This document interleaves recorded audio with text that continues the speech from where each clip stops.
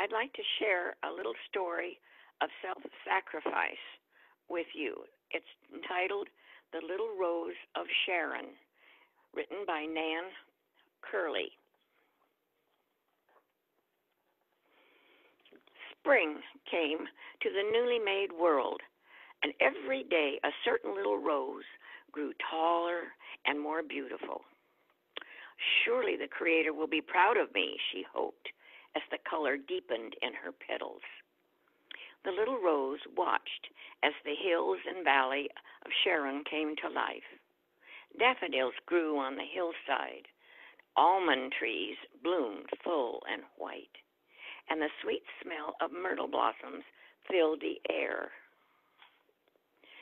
As the large green leaves on the fig tree above her danced gently in the breeze, the little rose looked up saw a dove sitting on a nest made of twigs and grass. Inside the nest was a tiny white egg.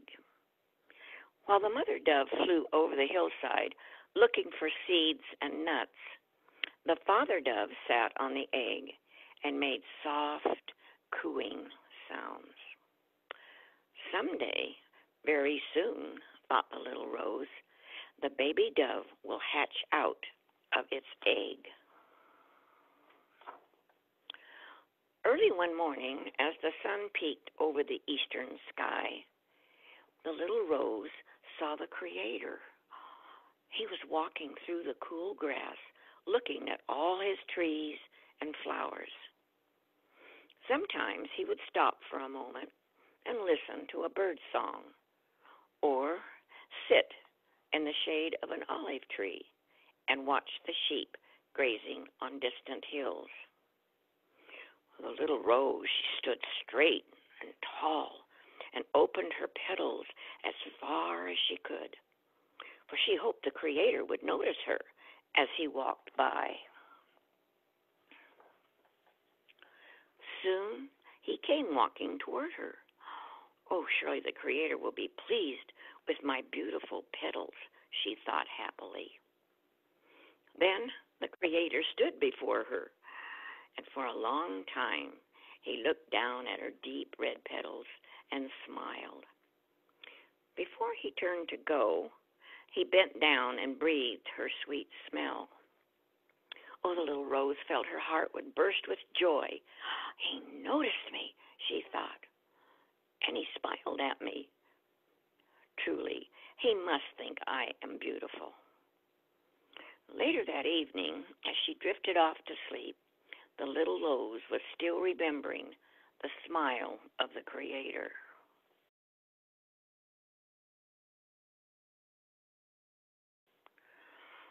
Oh, during the night, a storm rolled in from the Mediterranean Sea. The wind howled through the trees, and the rain beat down on the scrubs and the flowers. The little rose bent and swayed in the storm. She was frightened of losing her petals. As the rain beat against her, she held on to her petals with all her strength.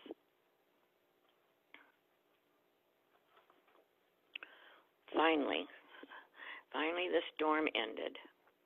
And when morning light filled the sky, the little rose was proud to see that none of her petals had fallen to the ground. Ooh, but when she looked down, she saw a white shape on the ground below her. It was the tiny dove's egg, nestled deeply in the grass. Oh, it must have fallen out of the nest during the night, the storm, she thought. Oh, surely the mother and father dove will find it.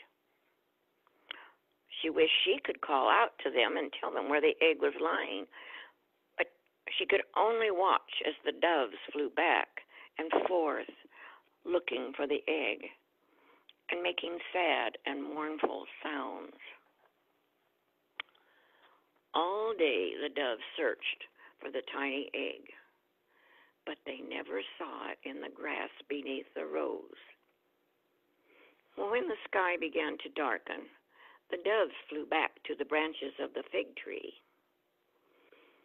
If the egg is not kept warm, The baby dove inside it will die, thought the little rose as the cool evening breeze began to blow. She was sad to think that the baby dove might never break out of its shell and learn to fly. If only I could keep it warm. As the moon slowly rose in the sky, covering the earth with a silver light, the little rose thought the only way she could keep the egg warm through the chilly night. One by one, she dropped her petals and covered the tiny white dove's egg.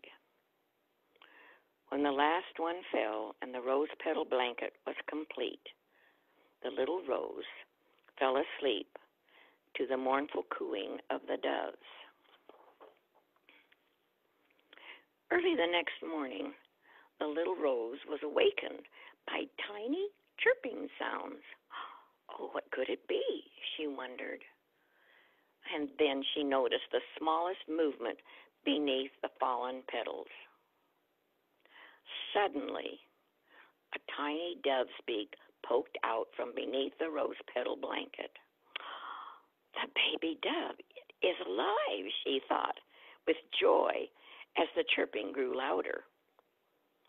The mother and father heard the baby dove and flew down from the fig tree. The little rose watched as they lifted their baby from the rose petals and carried it back to their nest.